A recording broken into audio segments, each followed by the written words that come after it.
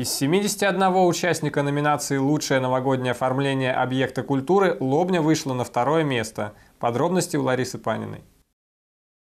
Итоги конкурса «Новогодний серпантин» подвели в Подмосковье. Конкурс проводился в двух номинациях – «Лучшее новогоднее оформление» и «Лучшее новогоднее мероприятие».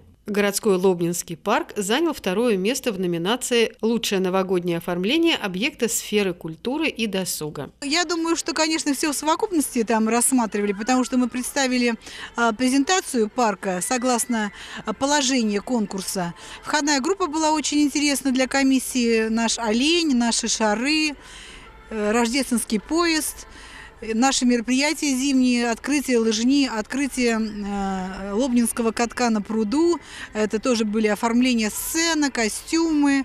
В совокупности, как бы в целом, картинка сложилась таким образом, что мы из 71 э, участника заняли второе место.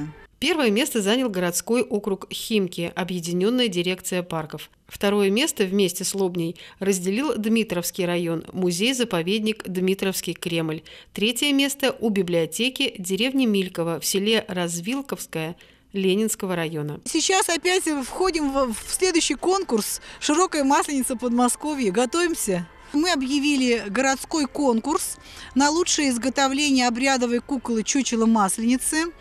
Э, активное участие у нас в прошлом году принимали, и в этом году тоже примут все наши школы нашего города. Итоги конкурса мы подведем 17 февраля в городском парке. Э, будет создана профессиональная комиссия художников, э, которые будут просматривать эти изделия этих красавиц. этих красавиц, да.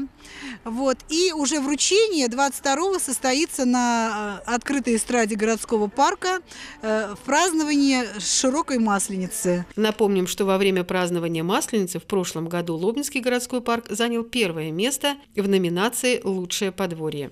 Пока зима не завершилась, горожане еще надеются встать на коньки в парке. Каток мы э, обязательно приведем в порядок, потому что немного в связи с погодой, с оттепелью, немножко каток сейчас у нас находится не очень в рабочем состоянии, но мы его обязательно приведем в порядок, потому что работа уже сейчас, э, мы приступили к этим работам, еще раз будем заливать. Я думаю, что мы еще покатаемся э, на нашем катке. Лариса Панина, Алексей Бойко, Александр Михайлов, телекомпания «Лобня».